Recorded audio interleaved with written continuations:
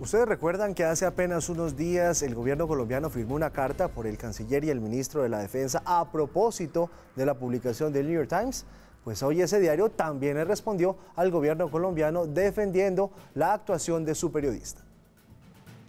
Con esta carta, The New York Times respondió a la carta enviada por el canciller Carlos Holmes Trujillo y el ministro de Defensa Guillermo Botero, donde expresaban sus inconformidades por el artículo Las órdenes de letalidad del ejército colombiano ponen en riesgo a los civiles según oficiales. La carta de respuesta va dirigida al canciller y al ministro de Defensa, donde destaca partes del texto enviado previamente por los funcionarios colombianos. En su carta, ustedes señalan que el artículo sugiere que miembros de las Fuerzas Armadas han recibido instrucciones contrarias a nuestra Constitución y a nuestra legislación y ustedes desafían los derechos humanos internacionales y el derecho internacional. A lo que el New York Times respondió.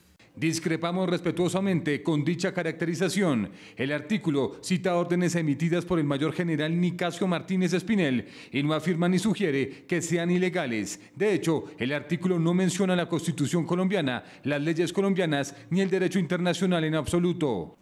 Con estos argumentos, el editor ejecutivo se permitió aclarar algunos puntos. En ningún momento el artículo sugiere que el ejército colombiano ha emitido órdenes ilegales o inconstitucionales. De hecho, la única referencia a la legalidad de dichas órdenes viene del mismo general, cuando dice que la orden por encima de todas es respetar la ley y proteger los derechos humanos.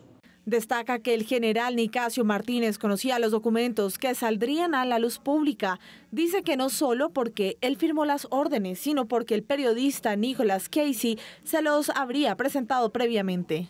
Todo lo anterior se le presentó al general Martínez durante nuestra entrevista y nada de ello fue disputado por el general durante la conversación. Su única objeción fue, según él, no le ordenó a los comandantes que duplicaran sus resultados, a pesar de que sus órdenes sí piden dicho incremento por escrito. El periódico agrega su profundo compromiso con cubrir de manera justa y precisa a todos los países. Aseguran que no les interesa promover ninguna ideología de ninguna de las partes.